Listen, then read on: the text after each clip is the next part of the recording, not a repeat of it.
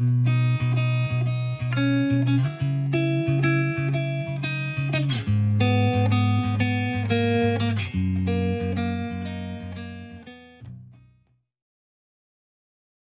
nggak sih, kamu merasa susah sekali untuk punya hubungan romantis? Rasanya sudah banyak hal yang kamu coba, tetapi tetap saja kamu masih kesulitan untuk menemukan si dia. Tapi tahukah kamu, ternyata hal-hal yang kamu ucapkan atau afirmasi yang kamu ucapkan berulang-ulang, bisa berdampak pada hidupmu, termasuk untuk punya hubungan romantis lo. Menurut Sik Sik Go, afirmasi sendiri berarti sesuatu hal yang kamu anggap fakta dalam pikiranmu.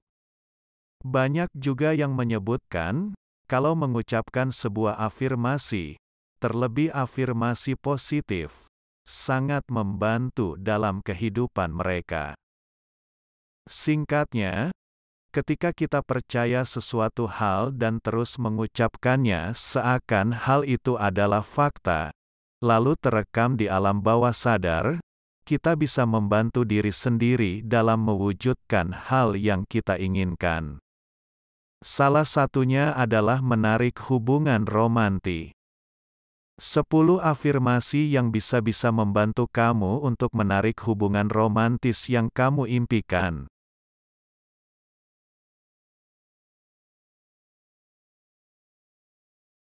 1. Aku berhak mendapatkan cinta dari orang-orang di sekelilingku.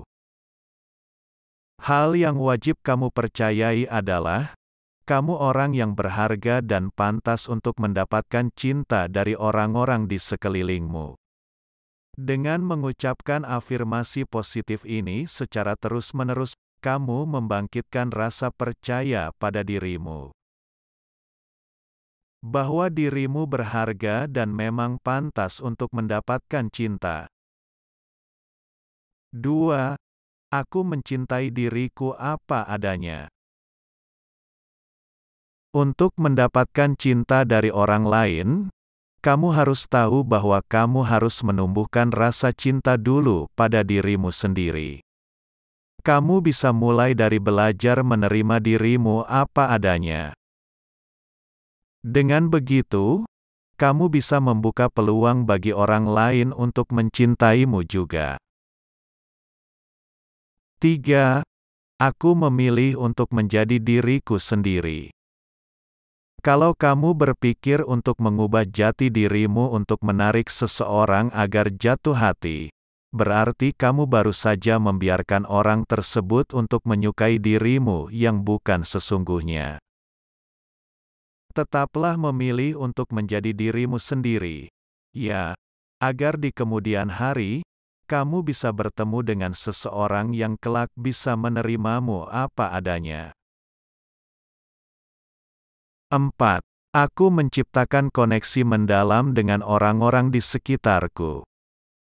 Asah kemampuanmu untuk memiliki koneksi mendalam dengan orang-orang di sekitarmu, khususnya seseorang yang kamu impikan.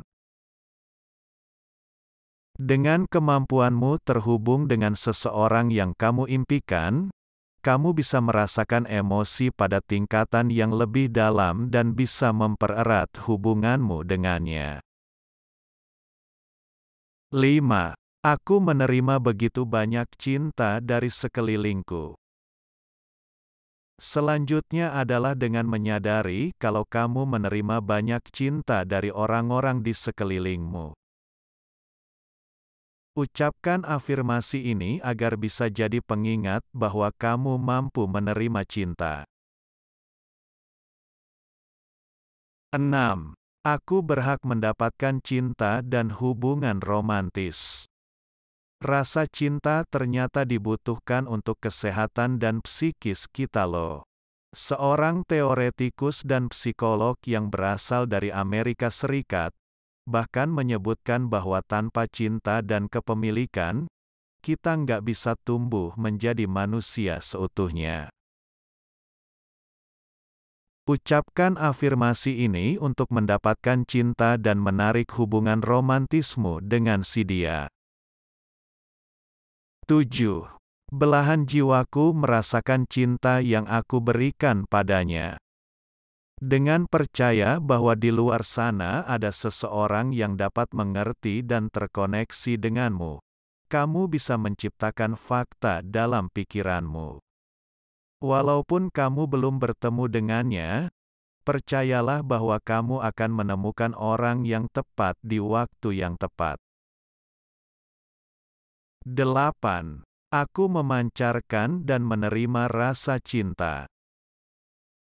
Afirmasi satu ini bisa membantumu untuk percaya bahwa kamu dapat memancarkan sekaligus menerima rasa cinta dari sekelilingmu.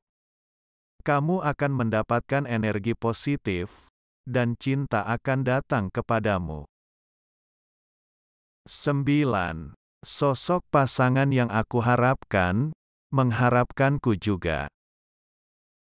Dengan mengucapkan afirmasi ini, kamu baru saja mempercayai bahwa kamu menarik cinta yang kuat dan nyata dari seseorang yang kamu harapkan. 10.